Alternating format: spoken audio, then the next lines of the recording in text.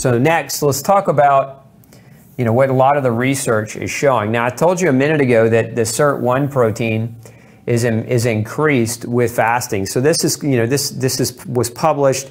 This is an image that was published from the journal Cell Communications and Signaling, and so we're talking about the SIRT1 gene, and you can see all these different beneficial um, elements that are involved in the SIRT1 gene. So with metabolic diseases, we know that improving SIRT1 gene function improves the action of the pancreas. So it helps your pancreas,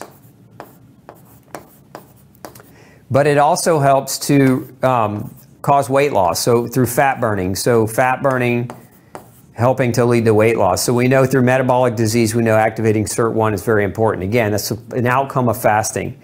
We know that epigenetics in terms of, of DNA and DNA repair, we know that fasting, and so we're talking about cancer here, right? Because cancer generally, what does that, what does that equate to? Many cancers are where either you are producing genes um, or your genes are producing proteins that become damaged okay and and that those epigenetic impacts on damaged dna can lead to the the production of tumors and other types of cancers so all these different functions here um, are benefits of activating sirt1 which is it increases the repair to your DNA when your DNA is damaged. It increases tumor suppression, so it helps to produce chemicals that suppress tumor formation.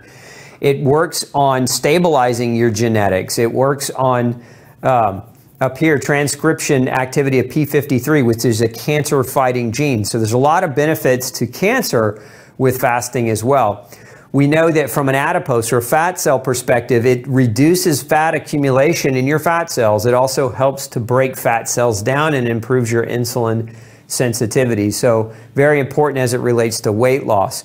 We know that um, cell aging, it reduces replication uh, of components that damage uh, that damage your genes, that damage your, your DNA. We know it increases telomere stability. A telomere is, is, is a predictor of how long you're going to live. A telomere is like a, an end cap to your DNA. And we want your telomeres to be nice and long and stable. When they shorten and they become unstable, generally your DNA breaks down easier and you're more prone to cancers. You're also more prone to aging.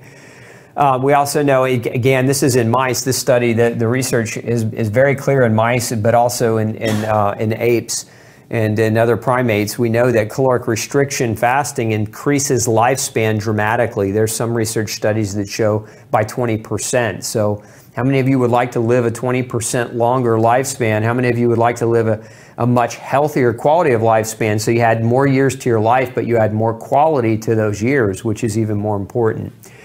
We know that from an, an aging and stress and in the cardiovascular system, it reduces oxidative stress and it upregulates a number of different genes that help protect you from stress. We know from a neurodegenerative standpoint, SIRT1 protects you from Alzheimer's and Huntington's and, and, and myotrophic lateral sclerosis or Lou Gehrig's disease. We also know it reduces the onset of prion disease. Fasting is very powerful. We know over here, we know it protects against chronic inflammation and it reduces replicative lifespan in response to chronic genotoxic stress. So again, going back to protects you from stress, increasing the potential for you to live longer. We also know that fasting SIRT1 increase helps to improve how well your hormones work. So it increases hormonal efficiency and increases modulation of transcriptional repressors. So very important, a lot of benefits of fasting that are documented in the research. And that's just those are just the benefits of SIRT 1, right? Which was one of the benefits I showed you a minute ago. Um, let's see here. Some additional benefits. Let's pull this one up. So this one published in the annual, annual review of nutrition shows some of the other additional um, kind of broken down a little bit easier to understand, but time restricted feeding. So this goes back to what are we talking about? We're talking about intermittent fasting, right? Time restricted feeding the benefits, it reduces reactive oxygen species. So basically, it reduces your body's capacity at producing uh, harmful free radicals. Um, it improves the stress response. It improves sleep and motor coordination. So again, fasting can improve your ability to get a good night's sleep. It counters fatty liver. So those of you that struggle with liver issues or have been ever been told that you have a fatty liver, you know, just like fasting can help to reduce fat accumulation in your fat cells. It can help to reduce fat accumulation in your liver. That's what reduced steatosis means. We also know it improves the cellular defense mechanisms within the liver, things like glutathione production. We know that fasting improves gut integrity. So going back to what I showed you earlier, which is, you know, when you've been eating gluten and you've been eating foods you're reactive to and your gut's damaged and you're not digesting and you've malnutrition, you got leaky gut, we know that fasting helps reset the gut okay, and get the gut moving in the right direction so it can start working again. So that's maintaining gut integrity. Now, one of the things that we know fasting can do is it promotes vaso or vagal tone. So those of you who've ever heard of the parasympathetic nervous system, this is your is your relax, digest, and rest this is the nervous system that controls these primary functions relaxation, digestion, and rest. And fasting helps to activate. So, a lot of you are looking for ways to overcome your stress, years of chronic stress, whether you've had you know, past childhood history of stress, whether you've had food induced stress, whether you've had inflammation, uh, whether you've struggled with stress because of bad relationships, doesn't matter. No matter what kind of chronic stress that you've had that's led to inflammation, Fasting helps reset the parasympathetic nervous system tone or response, which is, again, it's going to help when you can relax and digest and rest better, you heal better. If you're, if you're in a chronic state of sympathetic tone, which is the opposite of the fight or flight, we talked about this a number of times, then you're not relaxing, digesting, and resting. Your body is primed to run, escape. All the blood flows away from your gut and it flows into your muscle to try to prepare you for a fight or a flight.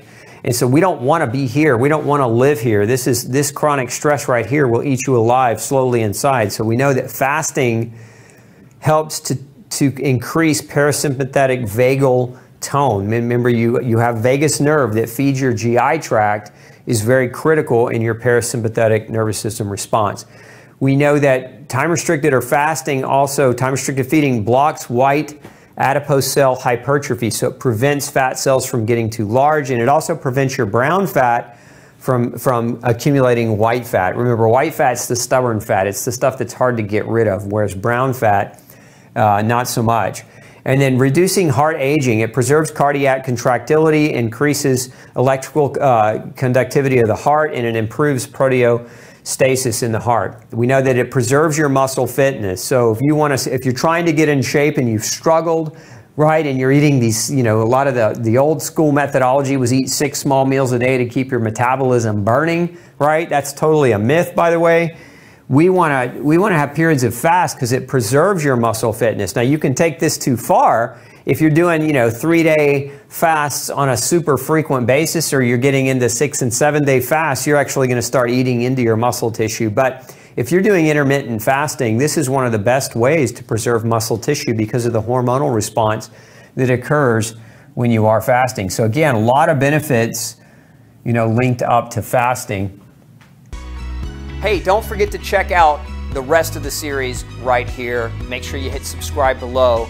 And as always, thanks for tuning in.